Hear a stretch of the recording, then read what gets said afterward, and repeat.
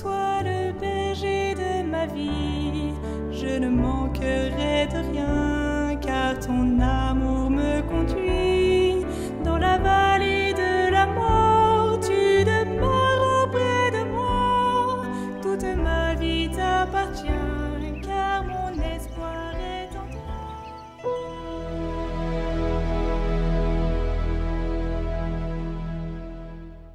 Lecture du livre de la sagesse. Aimez la justice, vous qui gouvernez la terre. Ayez sur le Seigneur des pensées droites. Cherchez-le avec un cœur simple, car il se laisse trouver par ceux qui ne le mettent pas à l'épreuve. Il se manifeste à ceux qui ne refusent pas de croire en lui. Les pensées tortueuses éloignent de Dieu, et sa puissance confond les insensés qui la provoquent. Car la sagesse ne peut entrer dans une âme qui veut le mal, ni habiter dans un corps asservi au péché. L'Esprit Saint éducateur des hommes fuit l'hypocrisie. Il se détourne des projets sans intelligence. Quand survint l'injustice, il la confond.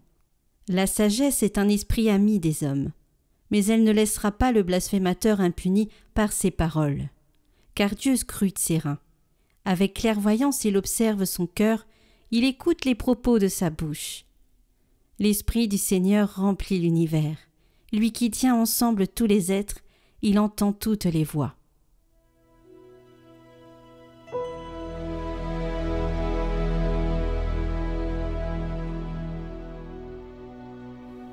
Conduis-moi, Seigneur, sur le chemin d'éternité. Tu me scrutes, Seigneur, et tu sais. Tu sais quand je m'assois, quand je me lève. De très loin, tu pénètres mes pensées. Que je marche ou me repose, tu le vois. Tous mes chemins te sont familiers. Avant qu'un mot ne parvienne à mes lèvres, déjà, Seigneur, tu le sais. Tu me devances et me poursuis, tu m'en sers. Tu as mis la main sur moi.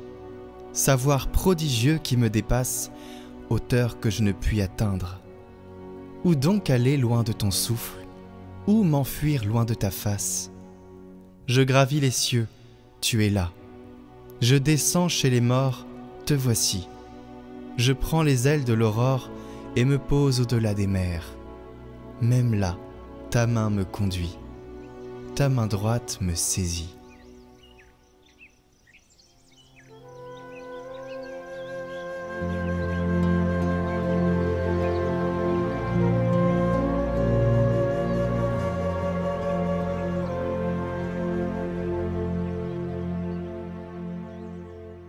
Évangile de Jésus-Christ selon Saint Luc.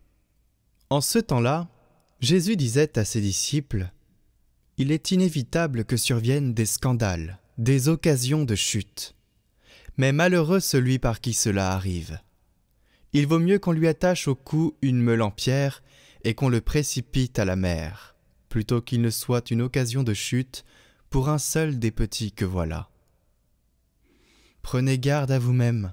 Si ton frère a commis un péché, fais-lui de vifs reproches, et s'il se repent, pardonne-lui.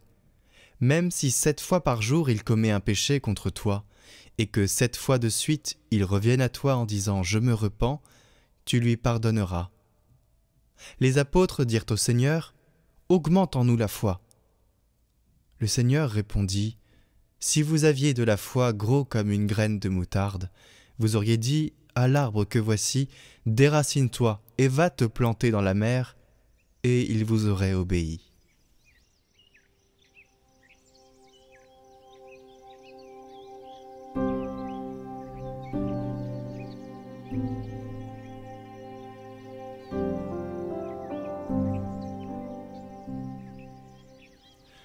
Commentaire de Saint Grégoire le Grand. Mes membres sont anéantis. Mais maintenant je suis écrasé par la douleur et tous mes membres sont anéantis. La Sainte Église est écrasée par sa douleur quand elle voit monter dans leur malignité les hommes pervertis. Et comme la montée des hommes pervers excite aussi les faibles qui sont en son sein à suivre les passions de la dépravation, Job est en droit de dire Et tous mes membres sont anéantis. Car les os désignent les forts et les membres les faibles. Les membres de l'Église sont donc anéantis quand, en imitant les pervers qui grandissent en ce monde, les faibles aggravent chaque jour leur faiblesse. Quant au spectacle de la félicité des méchants, souvent ils perdent leur foi et succombent. Ils convoitent des biens temporels et ils sont comme anéantis, parce que, en abandonnant les sens immuables de Dieu, en chérissant la transitoire, on peut dire qu'ils vont vers le non-être. Et c'est sagesse de dire Mais maintenant je suis écrasé par ma douleur. Parce que, nous le voyons, c'est maintenant pour l'Église le temps de la douleur. Le temps de la joie viendra ensuite. Mais il arrive souvent que la Sainte Église n'a pas seulement à souffrir un fidèle et adversaire qui se trouve hors d'elle, elle a de la peine à supporter embûches et hostilités de ceux qu'elle porte en son sein. Aussi la bouche du bienheureux ajoute-t-elle sans tarder cette parole. Mes rides portent témoignage contre moi. Les rides peuvent-elles représenter autre chose que la duplicité? Les rides sont donc tous les membres de la Sainte Église, qui ont en elles une double vie, clamant leur foi en parole, la reniant par les œuvres. Ces rides, cependant, la Sainte Église ne les a pas en ses élus, car ils ne savent pas, eux, dissocier attitude extérieure et vie intérieure.